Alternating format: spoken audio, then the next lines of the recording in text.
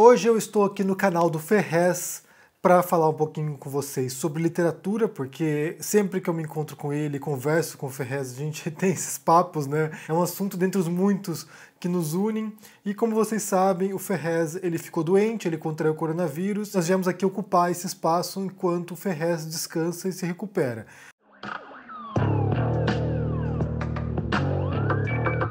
O meu nome é Henri Bugalho, eu tenho um canal no YouTube aqui, eu sou escritor. Eu quero falar sobre dois tópicos aqui, como eu disse, sobre literatura, que é um assunto que me move bastante, é um assunto que sabe, me anima bastante. E eu tive a honra de que o Ferrez escrevesse a orelha do meu livro, Um Cego em Buenos Aires, e agora também o Ferrez é companheiro, né, parceiro também de editora, da Cota Editorial. Então, eu vou falar sobre dois tópicos hoje aqui. O primeiro deles é o que faz alguém ser escritor, né? O que torna alguém escritor e o segundo tópico é por que alguém escreve, né? Por que alguém dedica o seu tempo, meses, anos para escrever um livro. A primeira pergunta pode parecer bastante banal porque, bem, em tese, qualquer um que escreve é um escritor o trabalho do escritor é escrever. Então me parece meio redundante aqui, né? Mas por outro lado, quem está em início de carreira, né, um escritor que começa a escrever agora, um escritor amador, essa é uma dúvida que aflige as pessoas. Eu digo isso porque me afligia também. Anos atrás eu tinha um grupo, ainda no Orkut, uma das primeiras redes sociais que os brasileiros tomaram conta. A gente tinha um grupo lá de escritores, eram 5 mil escritores entre escritores em início de carreira, escritores amadores, ou pessoas que queriam se tornar escritores, esse era um tópico recorrente. O que faz de alguém escritor, né? O que, quando que eu posso chegar para o mundo e dizer eu sou um escritor? E isso aflige as pessoas porque assim como outras áreas artísticas, né, assim como um músico, um cantor, uma bailarina, um cineasta, o fazer artístico, o trabalho literário, ele não é apenas um auto reconhecimento, eu sou um escritor, mas também depende de um reconhecimento dos outros que os outros olhem para você e digam: esse é um artista, esse é um músico, esse é um escritor. Passa por uma certa legitimação coletiva, esse reconhecimento dos outros, dos pares, de outros escritores, da academia, das editoras, de uma elite cultural que consome esse tipo de material.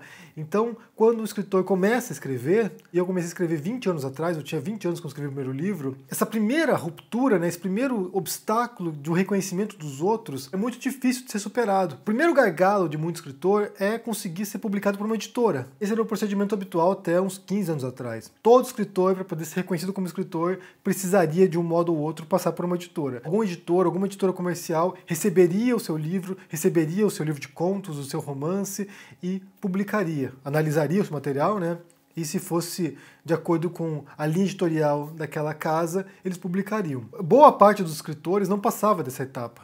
Boa parte de quem pretendia entrar nessa carreira parava nesse ponto. Tentava publicar, mandava o livro lá, era recusado e fim de história. Mas de uns 15 anos para cá, uns 10 anos para ser mais exato, houve uma enorme ruptura no sistema, né, no mercado editorial, e a gente viu o auge da publicação independente, o auge da publicação na internet, ou, por exemplo, na Amazon, né, quando qualquer pessoa pode escrever um livro e publicar um livro na Amazon e consolidar sua carreira mesmo sem passar por nenhuma editora. Então isso mudou drasticamente o jogo e isso trouxe, né, assim como em outros campos da arte, por exemplo, no cinema também, você viu muitos produtores independentes lançando seus filmes sem passar por grandes produtoras. Na música também foi uma revolução tremenda, né? Isso bem antes da literatura ainda, de cantores, de músicos poderem gravar em casa, às vezes, a sua canção e lançar na internet, vender na internet e consolidar uma carreira sem passar por grandes produtoras musicais também. Então houve uma enorme revolução no campo artístico e isso afetou também a carreira literária. Então hoje, por exemplo, só para citar uns casos aqui, Claro que esse é o ponto fora da curva, né? essa é a exceção, mas você tem hoje em dia, por exemplo, no cenário erótico, escritores que publicam sob pseudônimo, ou seja, ninguém sabe quem são essas pessoas, que publicam livros na Amazon, ou seja, não tem esse livro impresso, não chega nas livrarias e algumas pessoas chegam a fazer 30 mil reais só vendendo romances eróticos, só atingindo um nicho dentro do segmento literário. Como eu disse, essa é a exceção, né? Esses são os cases de sucesso, as pessoas conseguiram encontrar o seu público e se consolidar naquele filão.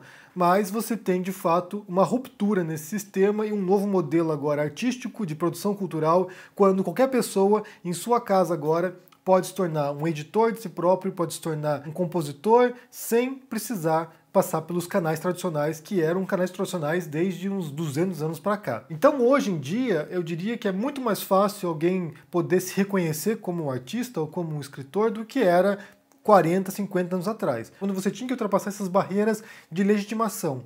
Hoje, você pode chegar ao público diretamente, pulando etapas, né? Queimando etapas e abrindo portas que não haviam anteriormente. Então, essa é uma pergunta que a gente responde, como disse, parece banal, mas no final contas passa pela sensação do autor de que ele pode publicar o seu texto, de que ele pode ser lido e de que ele pode, talvez, naquele segmento fazer alguma diferença. E aqui a gente entra no segundo aspecto, na segunda pergunta, por que alguém escreve? E essa é uma pergunta mais difícil de responder porque Cada escritor, se for perguntado, vai te dizer uma coisa diferente. Existem as mais diversas justificativas para que alguém escreva um livro, escreva um texto, escreva um roteiro de cinema, escreva um roteiro de uma série da Netflix. Cada escritor terá uma explicação. E eu posso dizer que, para mim, pelo menos, minha justificativa é primeiro porque eu gosto de ler. Então, assim, a minha vontade de escrever é uma consequência, é um passo além do meu prazer na leitura. Eu sempre gostei de ler, eu sempre gostei de ler autores literários, então quando eu li essas obras, algumas delas me estimulavam, me davam vontade de sentar e escrever também. Então eu produzo textos que eu gostaria de ler, que eu gostaria que existissem impressos ou publicados e que eu não encontro. Então eu vou lá e escrevo esses livros. Então é uma extensão, é uma extensão dessa relação que eu tenho com a literatura, com os textos, com os livros. Então, na minha explicação, né, por que, que eu escrevo tem a ver com isso. É um prazer, é um prazer. E a outra relação também tem a ver com a comunicação. Ou seja, você vai transmitir para o leitor, e a literatura depende dessa relação, né? O autor falando com o leitor, porque se você não pensa no leitor, você está escrevendo um diário, então você não precisa publicar esse texto. Mas se você pensa como uma comunicação, eu estou transmitindo uma mensagem, uma ideia, uma história para alguém, então você precisa do leitor. Então eu escrevo para ser lido. Eu escrevo porque eu quero que pessoas vão lá, sentem com o meu livro e estabeleça um vínculo entre a obra e o leitor. Então, eu imagino que para muitos autores, o fato de ter alguém no mundo sentado agora com o seu livro também é uma grande satisfação, também é a sensação de missão cumprida. O texto escrito, né, o texto literário, ele é feito para ser lido.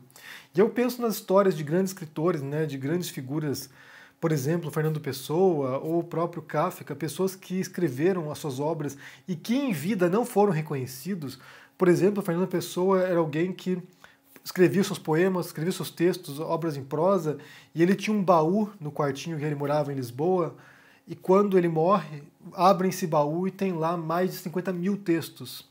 Boa parte dos textos, né, a vastíssima parte desses textos, totalmente inédita. E ele era alguém que, em vida, se esforçava para que as pessoas chegassem ao seu texto, né, para que ele fosse lido, e sofria uma decepção após a outra. Só para ter uma ideia, ele teve um concurso literário que ele participou e que ele perdeu o concurso. Fernando Pessoa, talvez um dos maiores poetas da língua portuguesa de todos os tempos, perdeu o concurso de poesia. Então essa etapa também, né, de você ter o texto pronto e que ele chegue no leitor, para mim é grande justificativa também para escrever. Primeiro, esse prazer de sentar e produzir história, imaginar os personagens e conceber um mundo e transmitir alguma mensagem, porque no final das contas toda a história tem o seu tema, tem aquela essência que é o que você quer passar para o leitor. E além disso, essa relação com o leitor, né, que você do outro lado aí vai sente por dias, lendo o livro e que extrai alguma coisa disso. E só é importante mencionar aqui que a literatura, a escrita, ela faz parte do patrimônio imaterial de uma sociedade. Né? Então, os escritores, os artistas são pessoas que estão, de certo modo, olhando o mundo, retratando esse mundo e, mais do que isso, através dessa observação e dessa interpretação do mundo, estão ajudando a compor a imagem que a gente tem desse mundo. Então, é crucial quando você tem escritores produzindo desde mais diferentes pontos de vista. Porque cada pessoa vai ajudar a montar esse quebra-cabeça dessa interpretação do mundo. Tradicionalmente, o que a gente tem né, na história da humanidade é uma visão da elite sobre o mundo. São os intelectuais, são os monges, são os professores, são os nobres, né, a aristocracia ou a burguesia, olhando a realidade e retratando desde seu ponto de vista privilegiado. Mas Outra revolução também que se deu de algumas décadas, ou talvez alguns séculos para cá, eu acho que o, o, próprio romance, quando ele nasce como fenômeno urbano, ele ajuda a, também a modificar um pouco o papel da literatura, tem a ver com a possibilidade de diferentes vozes, não estão necessariamente vinculadas à elite, também possam representar a sua visão de mundo, a sua leitura de mundo e ajudar a compor também essa interpretação. Por exemplo, Ferrez é uma figura central nesse movimento no Brasil, né, naquilo que se chama de literatura marginal, que é quando a periferia passa também a se inserir nesse discurso, nesse ambiente de debate e a mostrar a sua realidade. Não a periferia vista com o olho da elite, com a interpretação da elite, mas vista de dentro. E isso transforma completamente a nossa leitura. Quando você tem as pessoas contando as suas histórias, quando você tem as pessoas revelando o modo como elas se entendem e quais são as linguagens utilizadas no interior dessa realidade, isso expande completamente a nossa compreensão. Que você tenha os periféricos, os imigrantes, as mulheres, a comunidade LGBT e várias outras minorias contando as suas histórias é crucial para nossa compreensão hoje. Vozes que eram proibidas de se manifestar, vozes que eram proibidas de publicar seus livros, hoje podem contar suas histórias. Eu mencionei Fernando Pessoa, quero mencionar também a história da Jane Austen e outras autoras de séculos atrás que, para publicar suas obras, também eram obrigadas a publicar sob pseudônimo. Assim como hoje você tem esse cenário na literatura erótica, no qual as pessoas publicam para não serem identificadas, você também tinha isso alguns séculos atrás, mulheres publicando com pseudônimos masculinos, porque elas queriam contar as histórias e era um mercado que não assimilava as mulheres, que elas não tinham esse direito de contar essas histórias. Felizmente esse cenário mudou e hoje a gente tem acesso. Se você quiser buscar essas diferentes histórias, você tem acesso, coisa que não havia antes. E ao meu ver, isso também tem relação com esse ponto da comunicação, né? São pessoas que querem contar suas histórias, precisam revelar aquilo que elas sentem, aquilo que elas veem, e isso é profundamente transformador. Eu quero mandar um abraço aqui para o Ferrez, uma boa recuperação para ele, que ele volte agora a escrever seus textos, a publicar os livros dele, de outros autores também, através do selo Povo, da editora dele, os quadrinhos que ele publica também na Comic Zone, o que ele faz, o trabalho que ele faz é essencial, gente, é essencial. Vocês não têm noção da dimensão e do alcance daquilo que ele faz e como isso é, como eu disse anteriormente, profundamente transformador. Um grande abraço para vocês, se inscrevam aqui no canal do Ferrez, confiram os títulos do Selo Povo e da Comic Zone, leiam essa tarefa da leitura ela é muito enriquecedora. Ela expande nossa visão de mundo, ela expande o nosso universo e ela nos torna mais empáticos também. A gente vivenciar as histórias dos personagens nos põe em contato também com nós mesmos e com outras vivências. Então, um grande abraço para vocês e até mais. Tchau!